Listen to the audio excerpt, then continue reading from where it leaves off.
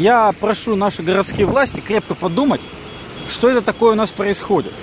У нас есть двухполосная дорога орбитальная и восьмиполосная дорога. Проспект космонавтов на участке от орбитальной до Королева. Но это ни в какие ворота не лезет. Понимаете? То есть наши советские инженеры, когда планировали северный, возможно, думали, что орбитальную будут расширять, продлевать. И запланировали слишком широкий проспект космонавтов. Но он такой широкий не нужен, потому что негде даже воткнуть ларек, понимаете?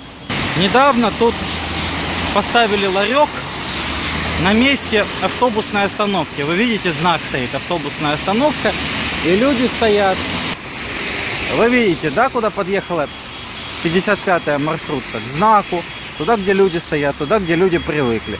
Ну вот, собственно, здесь и должен был стоять остановочный павильон. Кто его поставил так далеко, мне непонятно.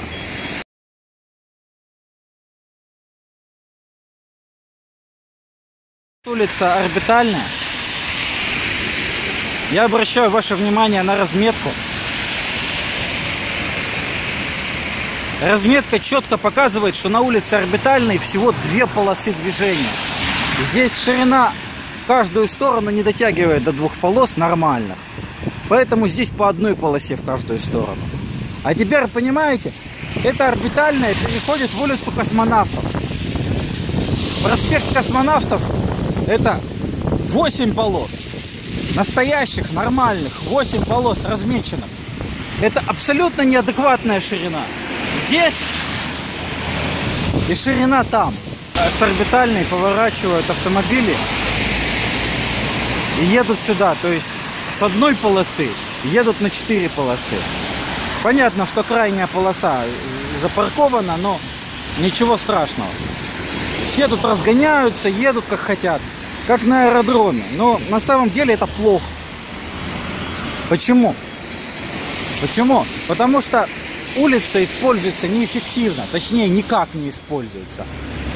Вы посмотрите, ларек поставили очень близко к дороге.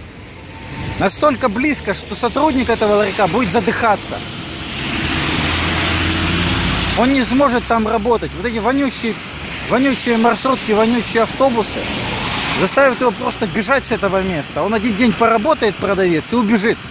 И больше никогда не вернется. А во-вторых, будет портиться продукция, ну, что будут есть люди. Ну и самое главное, умрет ли сотрудник. Но представьте себе, что вы сократили количество полос.